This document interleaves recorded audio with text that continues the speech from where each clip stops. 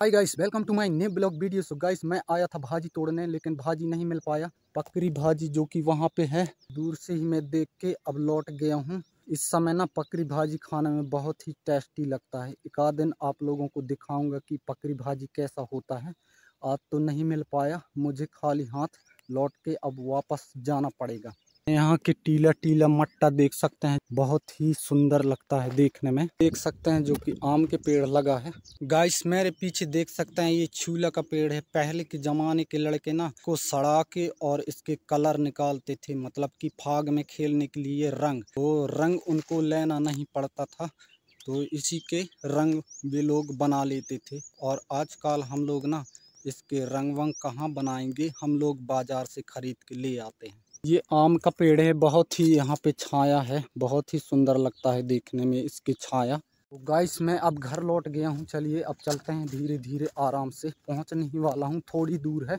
हमारे गाँव देहात का खेत है, लेकिन हमारे यहाँ बहुत सी पत्थर रहते हैं खेतों में। यहाँ के खेत वालों के लिए इसको बनवाया था सरकार, लेकिन इसमें कोई पानी ही नहीं आता, पूरा टूट फूट हो गया है।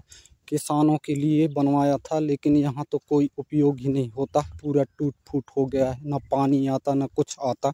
इसमें रोड में पहुँच गया हूँ और यहाँ पे देख सकते हैं जो कि फूल, बहुत सारे गिरे हैं ऊपर से। हमेर का फूल है। ये फूलेगा और अब फरेगा। और वहाँ पे देख सकते हैं चैन बोट में। मुड़की ग्यारह किलोमीटर इधर पे है आंगे। इसमें अगले बार आऊँगा चार पाँच दिन बाद तो मैं आप लोगों को भाजी दिखाऊँगा। मैं अपने खेत की गली की तरफ़ से मैं आ गया हूँ। वहाँ पे देख सकते हैं जो कि बोटरा को उसेल के और वहाँ पे रख दिया गया है। और ये वाले खेत में अलसी लगा है। ये वाले खेत में लगा है गेहूँ। गेहूँ फाक के बाद हो पाएगा। अभी तो नहीं हो पाएगा। इक्का दुक्का हरीरी है और कुछ हो गए हैं ऐसा लगता है, लेकिन अभी ये नहीं कटेगा।